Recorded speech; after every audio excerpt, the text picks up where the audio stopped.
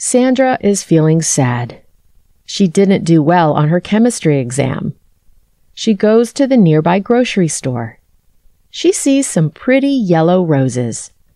She buys a bouquet for herself. She goes back home and puts the roses in a vase. Then she pours some water in the vase. The flowers make her feel better.